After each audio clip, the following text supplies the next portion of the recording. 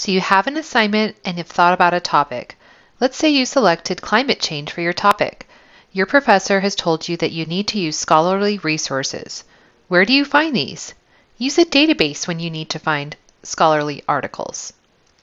To find the databases, go to the Saddleback College website and select Library at the top of the screen.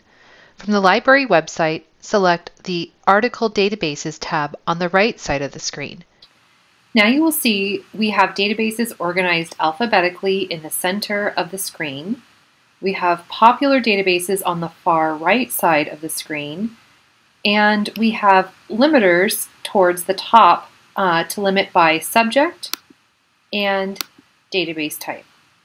The popular databases will cover most topics and are a great place to start when researching. If you need topic ideas, CQ Researcher and Opposing Viewpoints are great places to start. Using the subject limiter to find a subject-specific database is a great option for you need something specific to your class, such as nursing or environmental science.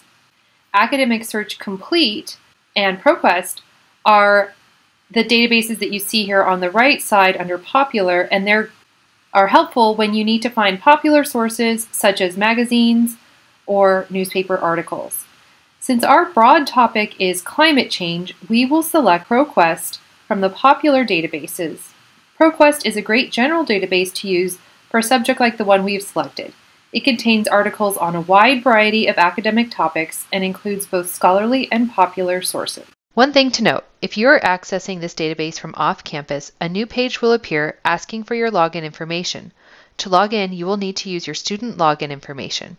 This is the same information you would use to log in to an online class or to access your email.